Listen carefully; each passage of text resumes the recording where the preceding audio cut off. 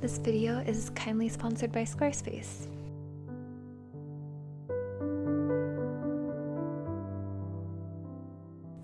Hello, I hope you guys are doing well. Uh, today I'm going to be flipping through this mammoth of a journal. this is my 2020 bullet journal, and I believe this is my fourth bullet journal. Uh, because I started in 2017, so this should be my fourth one. So this will be also the fourth flip through um, that I'll be doing, and I have a lot to get through, but I'm gonna try to go as quickly as possible. But yeah, I used the Archer and Olive journal for my first time.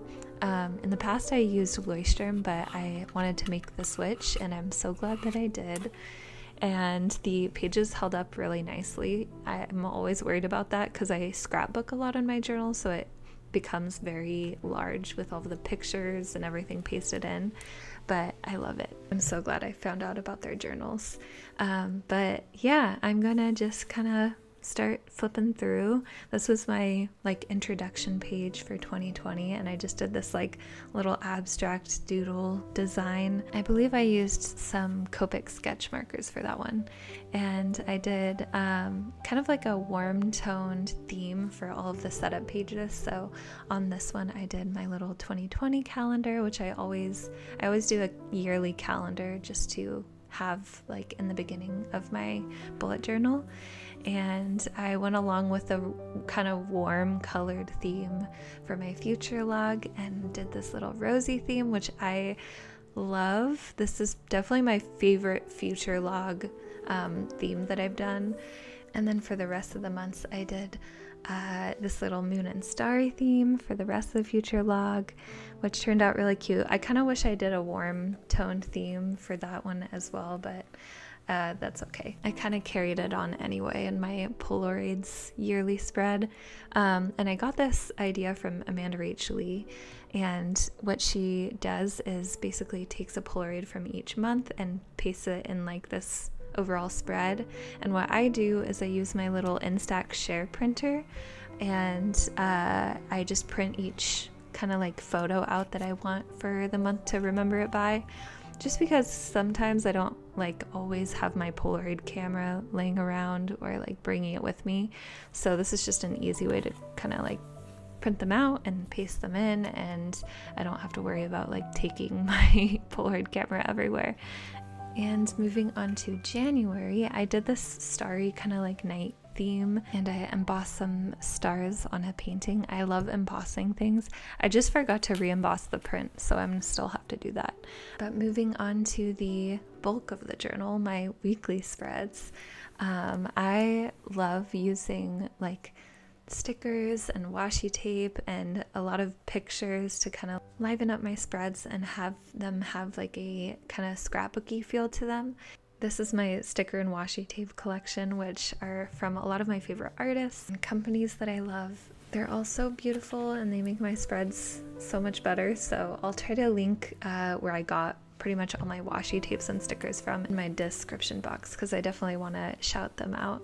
Um, and this is a little sun acrylic painting that I did, and this is one of my favorites just because of the tones of the like tans and pinks uh, in the colors. I definitely started straying away from my blue phase. I would solely paint with blue for like the longest time, and a very specific blue at that. It was the color Payne's Gray, if anyone remembers, and I loved that. But I've branched out now, and I'm using more colors than just that one. um, but yeah, these are a couple more of my weekly spreads.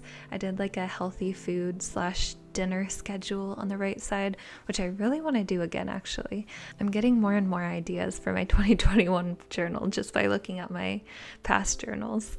Um, but this was my theme for March. I did a little meadow mountain range theme and this like dreamy purple color and some greens and blues.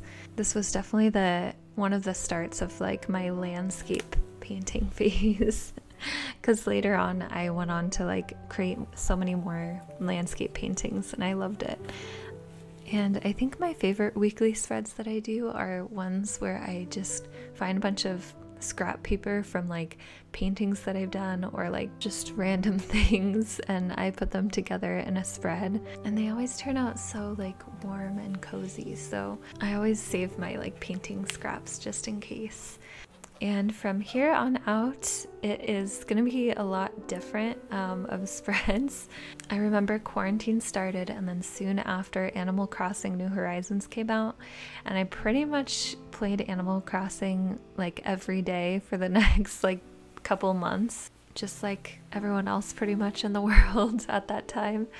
Um, and so, yeah, things were definitely different then. I uh, was trying to figure out how to use my bullet journal um, at this time just because I did so much scrapbooking in my bullet journal. I'm so not used to using my bullet journal as like what it's kind of meant to be, which is, uh, you know, a to do list or a planner or like a bulleted list of items that I need to get done.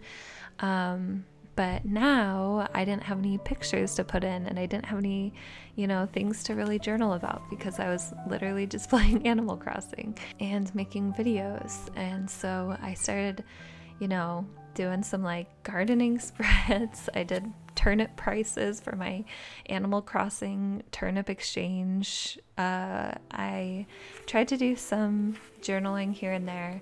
A lot of it consisted of just like random pictures uh, the few pictures that I took each month. But um, yeah, as you can see at this time, I didn't really use my bullet journal. But one thing I knew I didn't want to do was give it up completely um, because bullet journaling is like my artistic outlet. Each month, I get to create a painting um, that I put like everything into and it kind of forces me to sit down and do that painting um, and i it's just one of my favorite things. So i definitely didn't give it up. I just kind of used it in a different way. And some of the spreads were kind of lackluster like this one just a list of ideas. And then others when i actually did go out and do things like this uh, week i think was our first kind of week away it was our eight year anniversary, so we went to the ranch and also quarantined so we could see my family again on Mother's Day. Um, so there were definitely moments I wanted to still kind of like keep in my journal. Uh, and this spread was my height of my mushroom painting phase, or not the height, but the start for sure. Uh, I did this like kind of like mushroom foraging leaf spread, and I carried it out into my my weekly spreads for sure. Uh, I made all these like fall stickers that I wanted to paste in, and I just was fully embracing the fall season in literal June. I couldn't wait. Um, and for my birthday month, I did a little ocean spread, which is just one of my favorite things to paint just because I grew up watching my grandpa, who's a watercolor artist, paint these incredible ocean scenes and I always wanted to learn how to paint water and it's just always so relaxing to paint. So I um, I'll always try to do an ocean painting at least once a year. And uh, I went along with the ocean theme and did some ocean themed spreads uh, pasted in some cute little Pinterest photos, and then the few times that I actually went out and did something exciting, I would definitely document it in my journal and I tried to make them as cute as can be because they they were definitely few and far between at that time because uh, we were still hardcore quarantining pretty much. Um, but yeah, around this time I also started streaming on Twitch, so I made a little stream schedule. I kept going with the mushroom themes because I couldn't stop drawing them. And uh, on the next spread, I did a whole spread about getting bangs. One morning I just finally decided to cut my own bangs and it was just that was that was that. I feel like that's a lot of people's quarantine experiences just doing random things just to like have some sort of change uh, in our lives. At one point, I wanted to dye my own hair pink, but I'm glad that didn't happen because I do not trust myself with a hair dye. I've never done it, but I know it would turn out badly. So, thank goodness for that one. But the bangs turned out great. But um, yeah, this was around the time that I started to make a lot more uh, Pantone swatch paintings. So I did this little challenge where I was supposed to paint a Pantone painting every day, but that did not work out for me. I was not that motivated.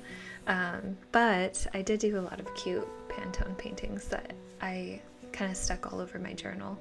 Um, and then finally, it was the start of fall, and I started doing more kind of like Halloweeny fall themed spreads. And so I pretty much did orange on all of these spreads, which I'm honestly not a huge fan of like bright orange like this, but um, I wanted to keep up with the theme.